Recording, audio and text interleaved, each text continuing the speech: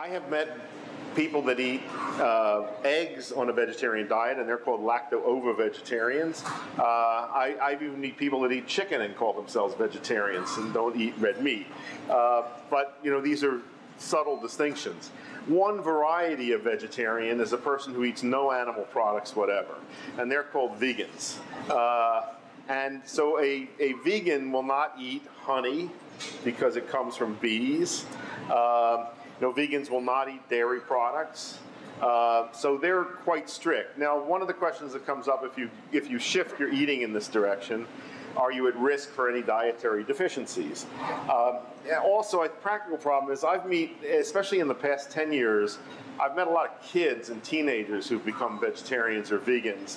I think often because this is either either morally appealing or it's a fad in the circles that they travel in. And a lot of them are eating things like macaroni and cheese every night for dinner and, and pizza for lunch and french fries. And that's not you know, if you're eating that way, that is certainly not a healthy variety of vegetarianism or veganism. I think it's possible, being a vegetarian or being a vegan, uh, to get everything you need for your diet, but it, there's some things you have to be careful of. Um, for vegans especially, there, there's a few concerns. One is where you're going to get omega-3 fatty acids. Uh, you know, you can get these from vegetable sources, but it's it's not as good as getting them from fish or fish oil supplements. Also, in a vegan diet, can be at risk for iron deficiency and zinc deficiency. There there are vegetarian sources of these minerals, but they're things you just have to be conscious of. In uh, after being a lacto vegetarian for about 15 years, uh, I changed my diet and started to eat fish.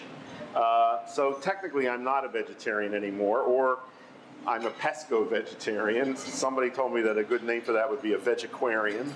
Uh, I started eating fish for several reasons. The first is I travel a lot and I travel internationally, and I found that that being a lacto vegetarian was difficult for me, especially going to Japan where I'd spent a lot of time. It's very hard to be a lacto vegetarian in Japan, and also I was more and more convinced from the scientific literature about the value of including fish in the diet, especially for omega-3 fatty acids.